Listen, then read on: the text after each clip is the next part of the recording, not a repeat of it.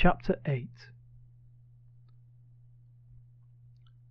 The waters bubbled, foamed, and frothed; Through lane tree walls they cut their path; Down the valley they churned and bound, Descending upon the scruffy town. Crooked shadows rippled against the sunset sky; The small, bushy silhouette of the sprig, and the tall, jagged outlines of many trees climbed carefully down the steep cliffs towards the town below.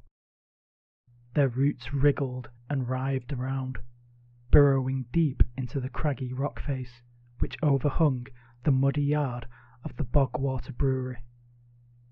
Scragg was lying in the old tin bath, fast asleep, snoring loudly and happily dreaming. He dreamt of seas of stinking sewage and tumbling tides of trash, into which he gleefully leapt and dived, paddled, bathed, and drank. The sprig gently lowered itself on its branching arms into the yard below. Being careful not to make a sound, it slowly crept over to the bathtub. The sprig peered over the brim and into the tub below. Scragg was curled up tightly, fast asleep. His snores warbled and gurgled from his open beak, wriggling off his worm like tongue. The sprig quietly backed away, crouched down into a ball, and rolled across the yard to the open gate. It peeked out into the alley beyond. Scragg opened an eye. The squinting black bead glinted in the fading sunlight. A sly smile stretched from the corners of his beak. Scragg had lain in wait, pretending to be asleep. He had expected the inevitable reprisal of the Scruffswood creatures. The sprig was ready to sneak away into the enveloping darkness of the alley. Scragg scrambled and shuffled himself to his paws and stood in the bath. He took a deep breath and opened his beak to shout. "Aha! Caught in the act!" he wanted to say, but all that came out was a minute, squeaking sound, for around his beak, tightly wound and coiled, was a long, thin branch, which snaked out of the night sky and encircled him. Many tall, crooked, and gangly shapes came out of the creeping darkness and gathered around the bath, surrounding him with a fence of twisting shadow. Another branch began to wind around the bath, caging Scragg inside the tub. It was hoisted aloft and carried away, towards the gate and into the deep darkness of the alleyway beyond. The great squidge was packed full of scruffs, who were jammed together tightly, a swaying sea of sweaty, stinking fur. The noisy, squabbling rabble swelled and crashed upon a colossal central mound of trash. Atop the mound stooped Munch, and upon his back stood Gibgob. "Quiet, you stinking stack of fetid furballs!" she bellowed over the squeals and squeaks coming from the churning scrum of scruffs below. "Shut it, or else!" Munch threatened, as he shook his paw in the air. The whole squidge fell silent. Gibgob took a moment to fix her wig and clear her throat, before beginning her speech. "We tried to smoke out the filthy trees, but that didn't stop them from planting their seeds." There was a loud, long boo and many hisses from the crowd. These stopped after a few moments, when Munch raised his hand to silence them, which they did quickly, out of fear. "We tried to chop and saw them down, but were flung away into the town." The crowd began to moan and groan, nursing their wounds, bumps, and bruises. "But now those wicked trees will learn. We'll show them fire, and watch them burn." The rabble roared and cheered through gritted teeth, and waved their paws in the air. Tin Can Crud climbed the pile of trash and handed Gibgob a large, crooked torch. It was made from bundles of twigs and sticks and a wad of Itzgitch wool, soaked in Scragg's juice tonic, which burned as well in the lamp as it did in the belly. Tin Can lifted the lid of his hat and rummaged around inside with his paw. Gibgob leaned closer, attempting to get a glimpse of what Tin Can had hidden within.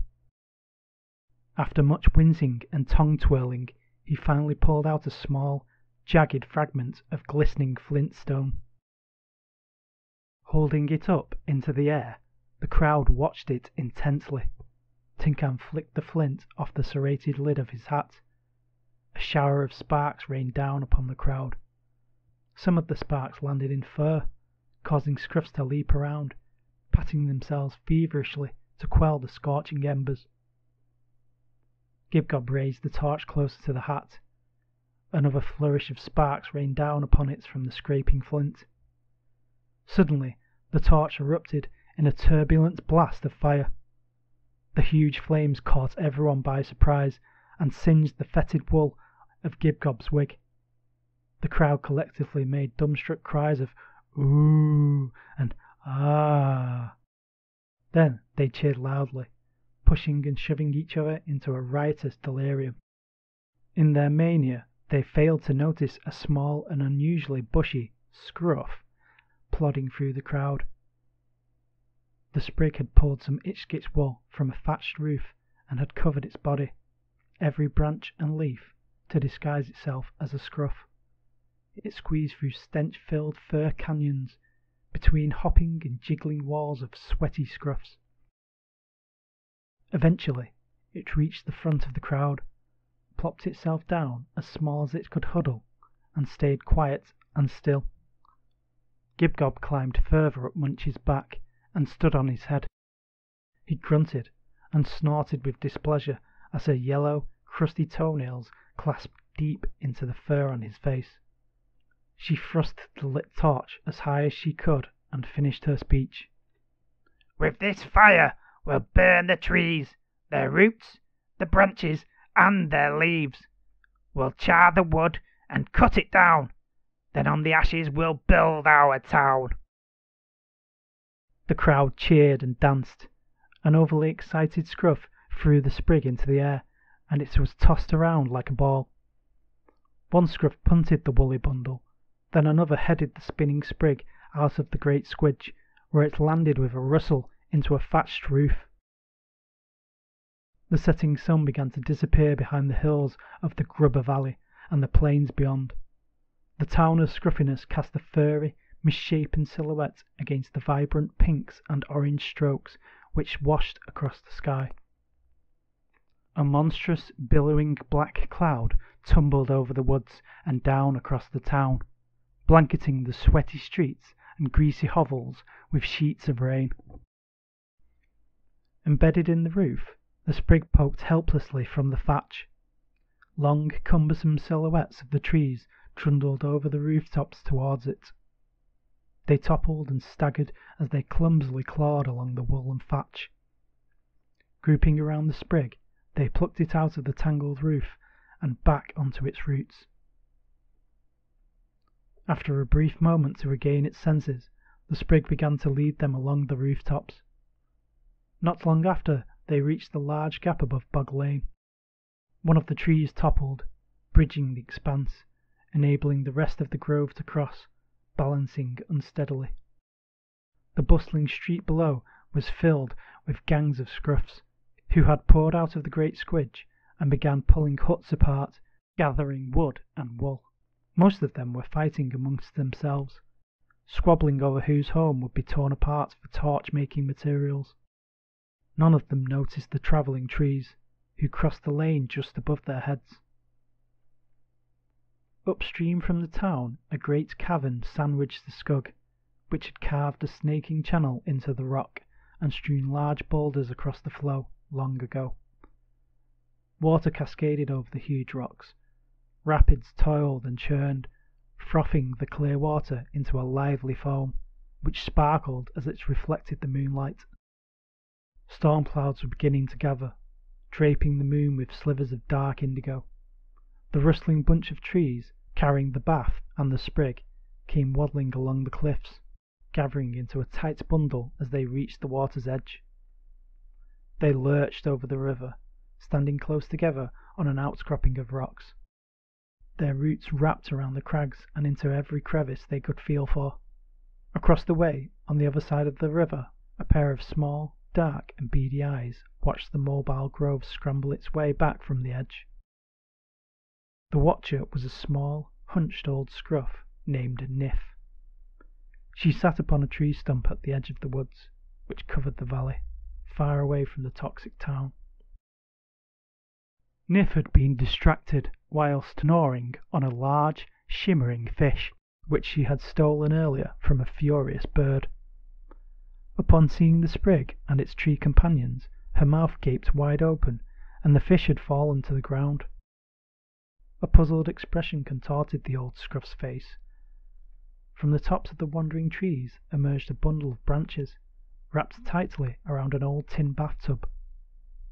The elderly scruff leaned closer, furrowing her brow and squinting her eyes in disbelief. From between the branches poked the head of Scragg, who bit at the tough twig cage. The trees wobbled, leaning closer to the water's edge. Nif was deeply intrigued by the strange sight which she beheld. She picked up her fish and slowly gnawed on it with her toothless gums. Suddenly the trees began to topple. One after another they uprooted from their grasp of the cliff's rocky crevices and rolled over the edge, onto the rocks of the weir below. They piled up onto each other, one after another, until the wall of tree trunks had dammed the river. The water began to rise, slowly spreading out and up the steep embankments of the Skug. Sat atop the dam perched the bathtub, held tightly like an ornament upon a great mantle. From between the branches poked Scragg's waving arms. Old Nif, upon seeing the newly formed dam and the rising water, began to panic. She toppled backwards off her perch and onto her back. Her rotund body, fattened by many delicious, stolen meals, made her as immobile as an upturned tortoise.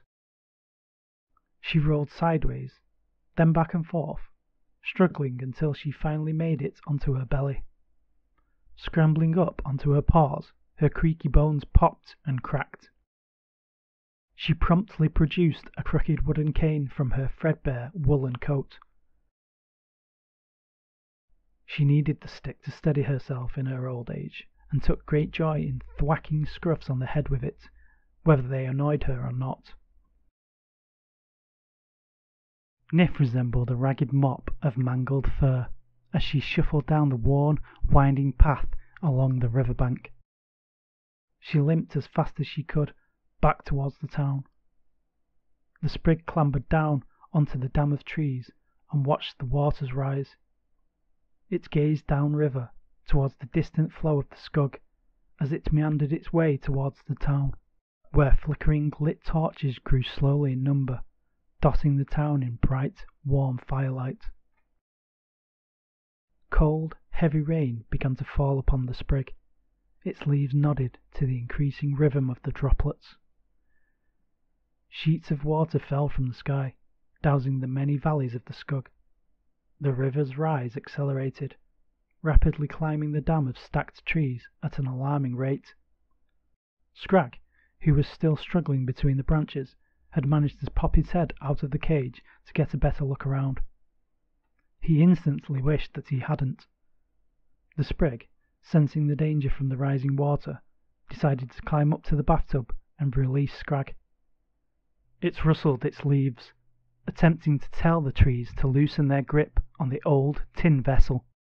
However, in the harsh, heavy rain, the rustling of the leaves could not be felt by the upturned trees. The sprig sprang onto the rounded rim of the bathtub. It fed one of its branches through a gap in the woven cage and held it out for Scragg to grab. The sprig's helpful gesture confused the frightened Scragg, who curled up at the opposite end of the bath. This tilted the tub suddenly, catching the sprig off balance, and sent it tumbling through the gap. The cornered scrag bared his claws, warning his new bath mate to keep its distance. The sprig once again extended a branch towards Scragg, which confused the scared Scruff, who gave the shrub a puzzled look, being unfamiliar with any gesture of friendship. Scruffs were mean, competitive, and suspicious towards each other. There had been nights when Scragg would lie in his bathtub, watching the sunset, wondering how the first Scruffs had ever worked together to pile up the plop and squish on the slop to mould the shape of the town. The sprig gestured towards the gap in the cage, and shook its leaves. Scragg slowly raised his paw, nervously moving it towards the scrag, nervously moving it towards the sprig's outstretched branch. Suddenly, the bathtub shook violently. Scragg was thrown forwards into the sprig's bushy body, tangling fur around vines. Outside, the water had risen to the top of the dam, and the pile of trees had begun to dislodge. The trapped pair stuck their heads through the gap in the branches and looked upon the breaking barrier beneath. The branch cage loosened its grip on the bathtub as the water crashed through the wall of logs, carrying them and the old tin bath down river upon a wall of cascading water.